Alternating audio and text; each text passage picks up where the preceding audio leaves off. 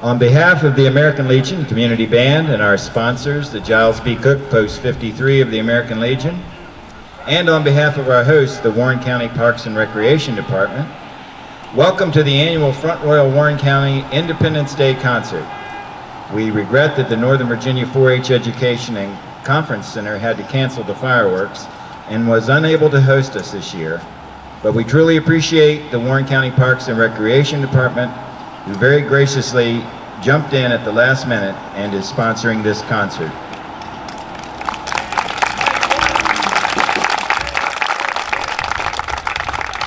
We're glad you came and we hope you enjoy the concert.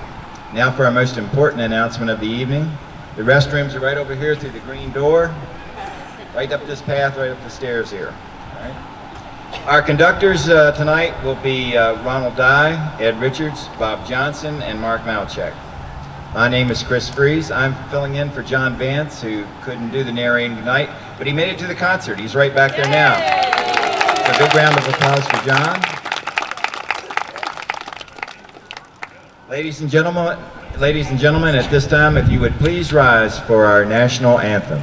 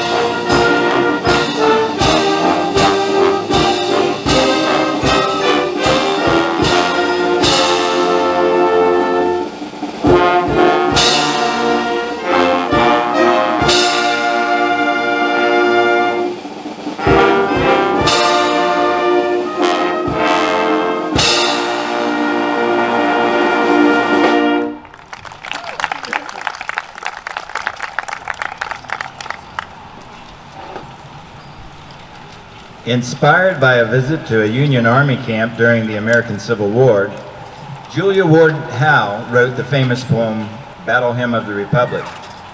Her poem immediately achieved great popularity as a song of the Civil War when William Steffe put the uh, poem to music. Peter Wilhousky has given us what is probably the best known and most recognizable arrangement of the classic piece of American music. The American Legion Community Band is proud to perform Peter Wilhousky's arrangement of the Battle Hymn of the Republic. And if you would help me welcome to the podium at this time, Mr. Ron Dye to conduct. Ladies and gentlemen, the Battle Hymn of the Republic.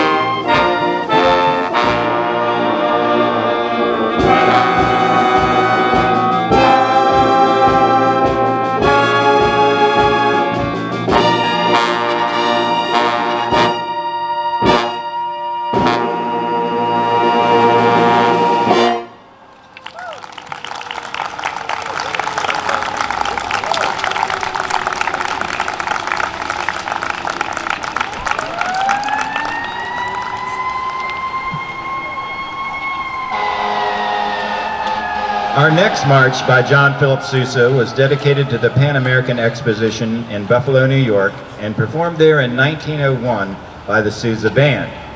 Part of Sousa's motivation for writing this composition was in knowing that another march for the same ex exposition was being written by Francesco Fanciulli, Sousa's successor as leader of the Marine Band in 1892.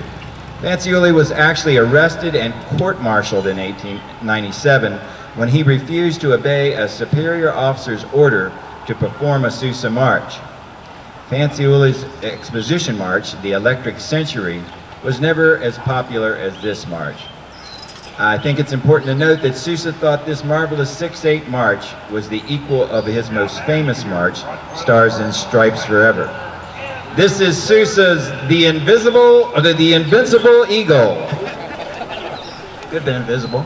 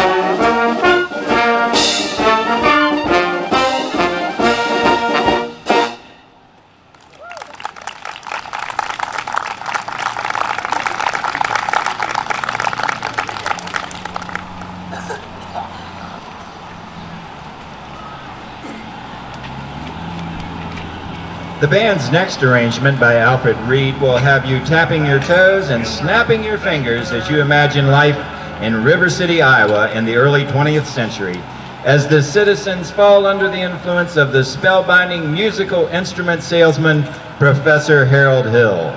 You'll feel the excitement as the entire town awaits the arrival of the Wells Fargo wagon to deliver the musical instruments for the new boys band and the romance between Professor Hill and the town's piano teacher and librarian, Miss Marion. Finally, the whole city comes alive as 76 trombones leads the big parade. This is highlights from the Music Man.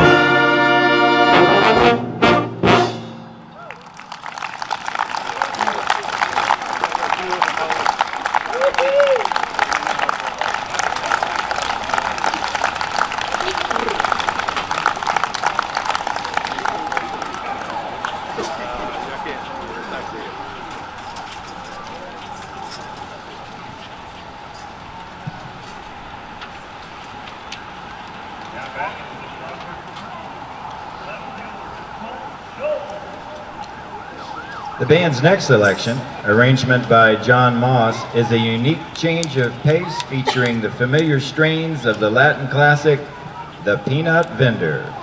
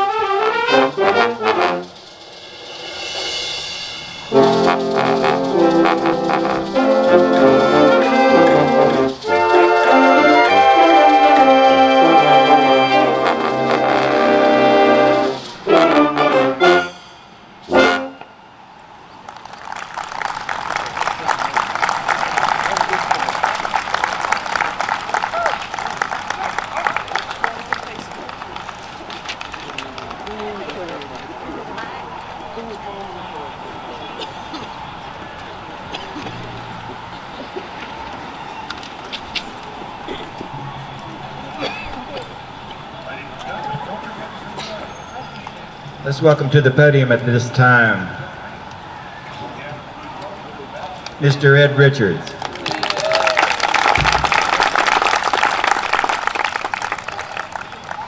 Widely considered one of the greatest songwriters in American history, Irving Berlin wrote hundreds of songs, many becoming major hits, which made him a legend before he turned 30. During his 60-year career, he wrote an estimated 1,500 songs, including the scores for 19 Broadway shows and 18 Hollywood films, with his songs nominated eight times for Academy Awards. The community band will now perform a medley of his songs, which includes This is the Army, Mr. Jones, Give Me Your Tired, Your Poor, This is a Great Country, and the ever-popular God Bless America. This is James Swearingen's arrangement titled Irving Berlin's Song for America.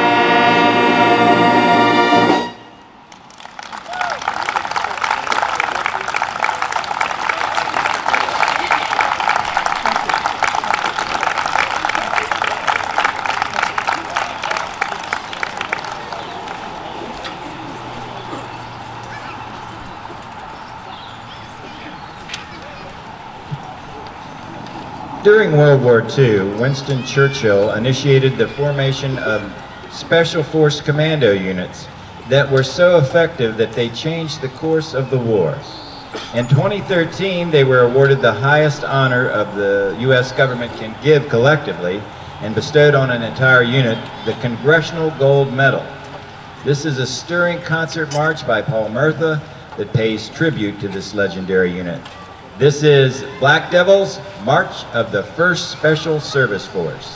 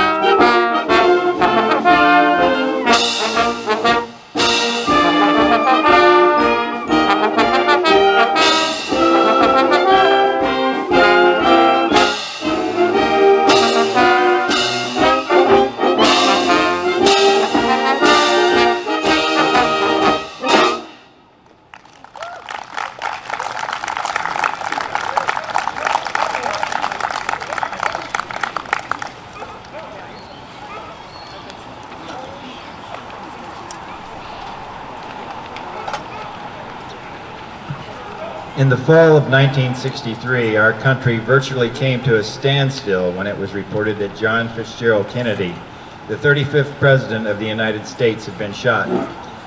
Unlike today, there were no television cameras present, no internet access, no cable news coverage, or even portable camcorders to document the President's motorcade through the downtown city of Dallas, Texas. Pictures that do exist of the event are primarily from photographic stills. This inability to see live news feeds only added to the uncertainty of what was transpiring on that historic day. Fortunately, one gentleman had his 8mm home movie camera running from a re relatively good vantage point on, in Dealey Plaza. This is the famous Zapruder film, now held by the National Archives. Reportedly, it is classified as the only official film record that captured the assassination. The band's next selection is a musical reflection on the life and times of President John F. Kennedy.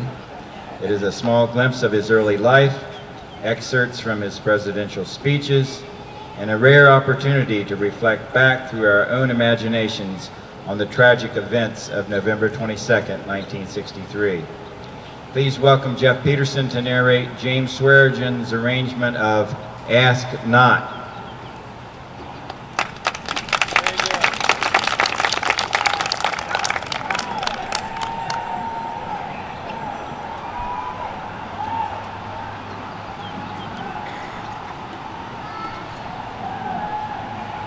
Etched on a granite wall below a grave at Arlington National Cemetery, one can read the following words. And so, my fellow Americans, ask not what your country can do for you. Ask what you can do for your country.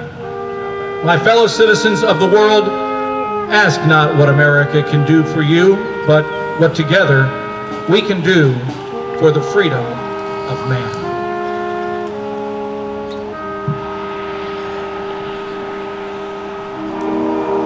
Fitzgerald Kennedy was born in Brookline, Massachusetts on May 29, 1917. Jack, as he was often called, was the second child of Joseph and Rose Kennedy, and together his parents raised nine children. He attended Harvard University, where he graduated with honors. In World War II, he served in the Navy and commanded PT-109 when the ship was sunk, he risked his life to save his crew. Serving his country helped to shape his thoughts on the future of America's right to defend its freedom. Let every nation know, whether it wishes us well or ill, that we shall pay any price, bear any burden, meet any hardship, support any friend, oppose any foe to assure the survival and the success of liberty.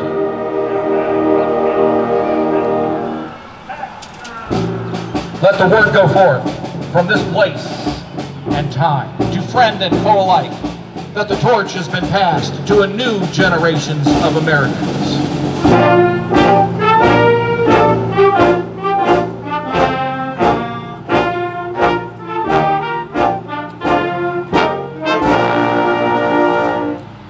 JFK was the youngest man elected to the office of president. He was the first Boy Scout to become president. John Kennedy was the first Roman Catholic president. He was the first president that served in the Navy and the first to have earned a Purple Heart. The main challenges of his term in office were the conflicts with Cuba, Russia, Vietnam, the Mafia, and concerns regarding civil rights. Hear the words of newly elected President Kennedy as he prepared to face the uncertainty of what would surely become his lasting legacy. In the long history of the world, only a few generations have been granted the role of defending freedom in its hour of maximum danger. I do not shrink from this responsibility. I welcome it. President Kennedy was an ardent supporter of the civil rights movement. He, along with his noted activist friend Martin Luther King, worked long and hard to help bring about positive change. On June 11, 1963, he addressed the nation and proclaimed the following thoughts. This nation was founded by men of many nations and backgrounds. It was founded on the principle that all men are created equal and that the rights of every man are diminished when the rights of one man are threatened. I am therefore asking this Congress to enact legislation giving all Americans the right to be served in facilities which are open to the public, hotels, restaurants, theaters, retail stores, and similar establishments. This seems to me to be an elementary right. Its denial is an arbitrary indignity that no American in 1963 should have to endure. In the fall of 1963, President Kennedy turned his attention to his re-election campaign and decided that a trip to the South was long overdue. With First Lady Jacqueline by his side, he embarked on a two-day trip that would take him to five major cities in the heartland of Texas. On the morning of November 2nd, 1963, a motorcade of political dignitaries traveled along a 10-mile route that wound through downtown Dallas. Since the earlier rain had stopped, the plastic bubble on the top of the presidential limousine was removed. Overflow crowds of excited people lined the streets and waved frantically to the Kennedys. At approximately 12.30 p.m., the car turned off Main Street. As it was passing the Texas School Book Depository, gunfire suddenly rang out in the plaza. Let us reflect on the events of that day and remember that life, as we knew it, was about to be changed.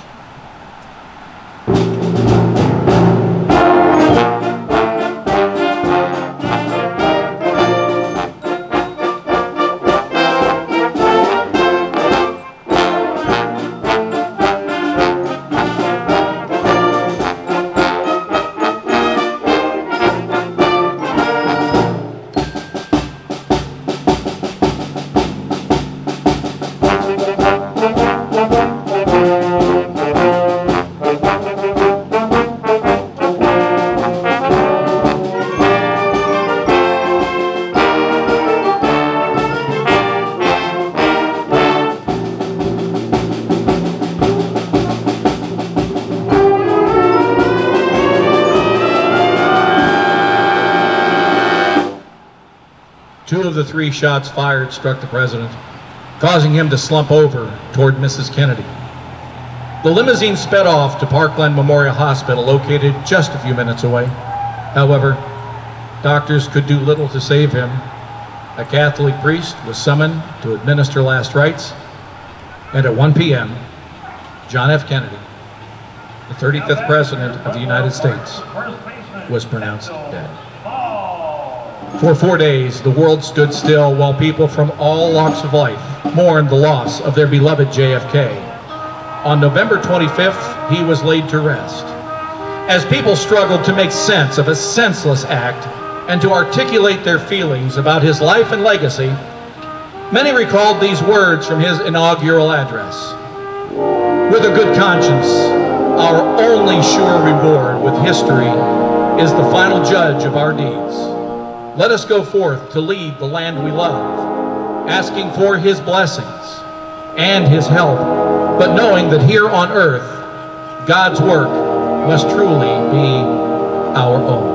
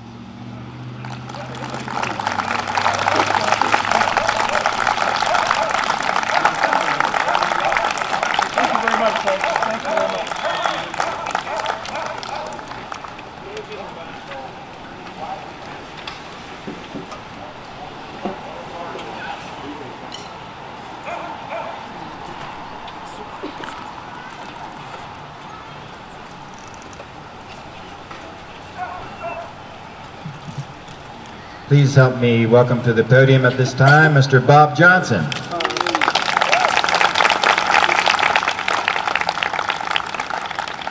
Composed for the video game Civilizations 4 by Christopher Tin, the band's next song has quickly gained popularity outside of the gaming world and won a Grammy Award for the Best Instrumental Arrangement accompanying a vocalist category.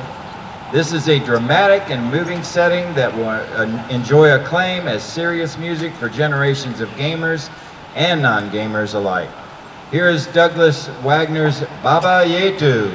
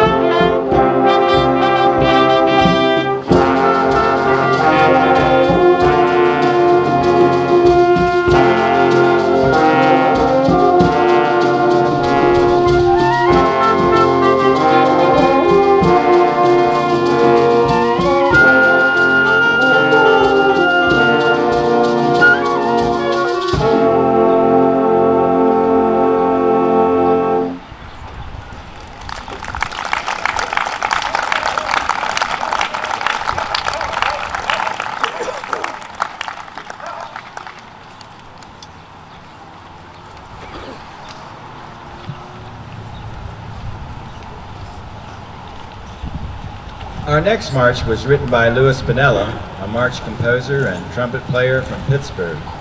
Panella performed with a number of orchestras, including the Pittsburgh Symphony, and taught trumpet for many years at the Carnegie Institute of Technology, now Carnegie Mellon University. Many of his marches have patriotic titles or references, the most famous of which was the march he composed in honor of the American Red Cross, which was meant to honor the humanitarian work of the American Red Cross during World War I. Arranged for modern concert band by Andrew Glover, this is the American Red Cross March.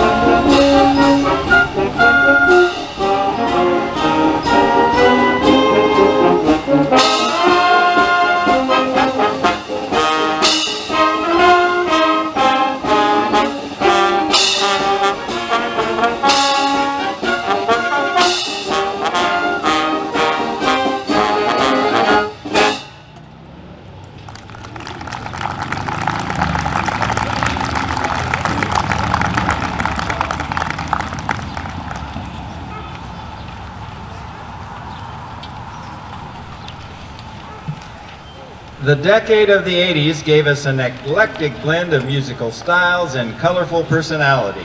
The band's next selection is an action-packed sampling of the top hits from this rich period of popular music. It includes Thriller with Michael Jackson, Time After Time, Cyndi Lauper, You Give Love a Bad Name, Bon Jovi, Up Where We Belong, Joe Cocker and Jennifer Warnes, and Eye of the Tiger, Survivor. Get ready for us to rock the house as we play Paul Murtha's 80s Flashback.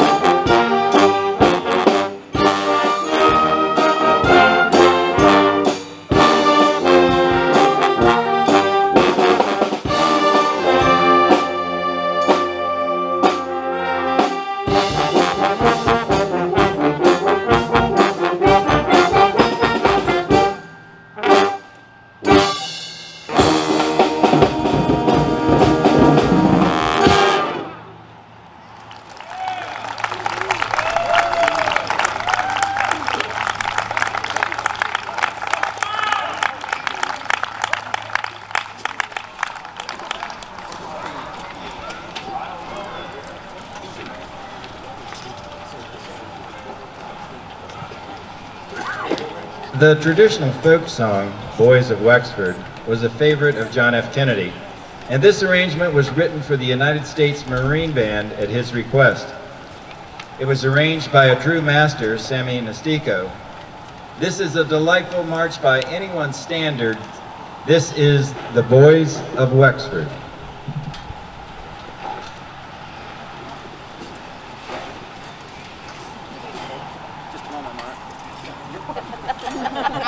My mistake. Would you please help me welcome warmly to the podium, Mark Malachek.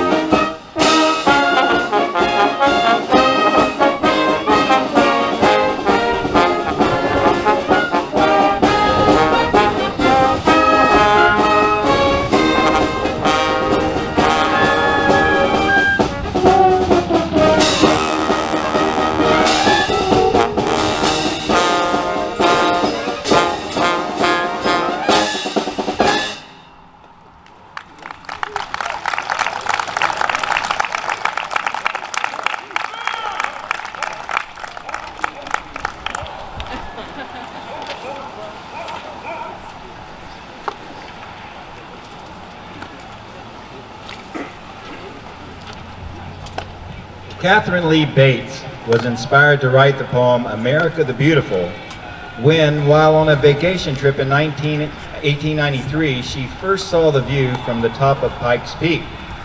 Samuel Augustus Ward put her poem to music, and the song was actually almost chosen as the national anthem instead of the Star Spangled Banner. The Carmen Dragon arrangement of America the Beautiful is one of the most famous settings of this famous patriotic song. Ladies and gentlemen, America the Beautiful.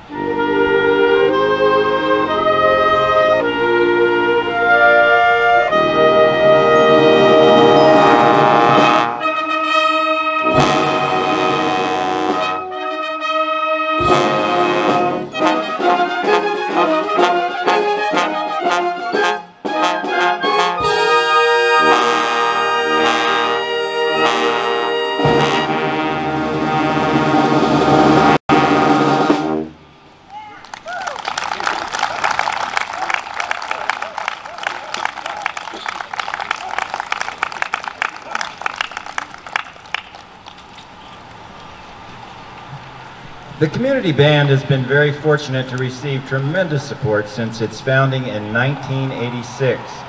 We would like to thank our sponsors, Giles B. Cook, Post 53 of the American Legion, for providing financial support for the band, having spent many, many thousands of dollars over the years to purchase both music and equipment.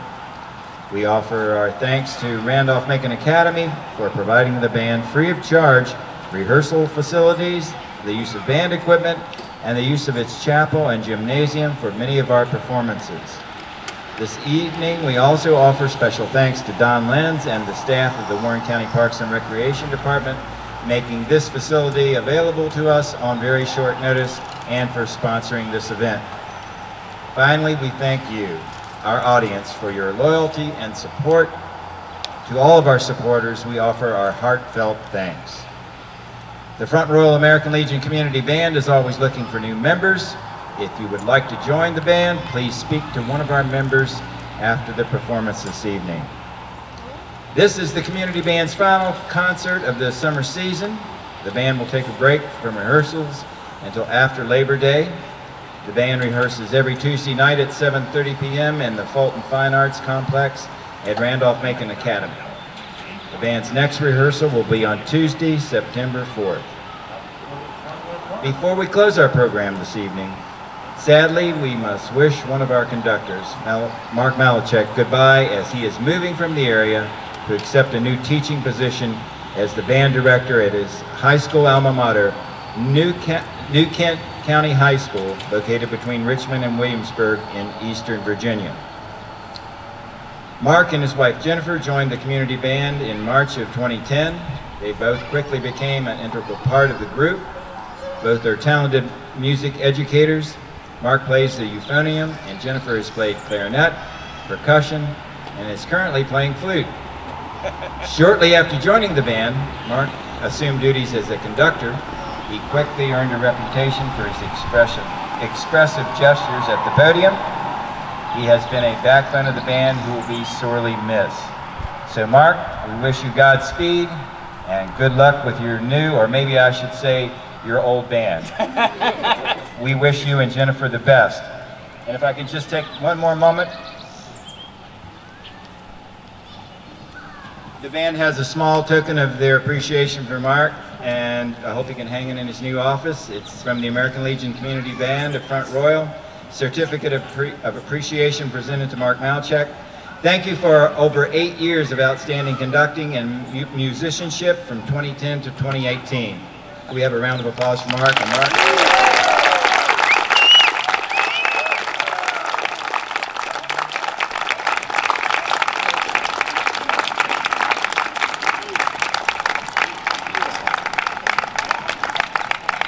The American Legion Community Band would like to honor those veterans in our audience who have served or anyone who currently serves our nation and the armed forces. Our next selection is a medley of the songs of the armed forces, including the Army, Coast Guard, Marines, Air Force, and Navy. Please stand as the song of your service branch is played. This is Bob Lowden's arrangement of Armed Forces Salute.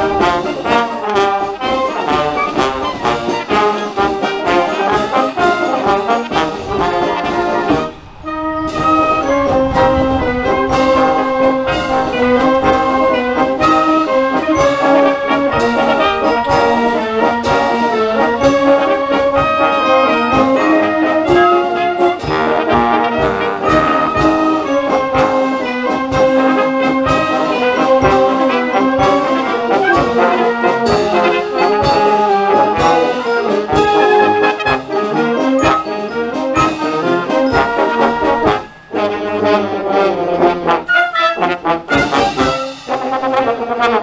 you.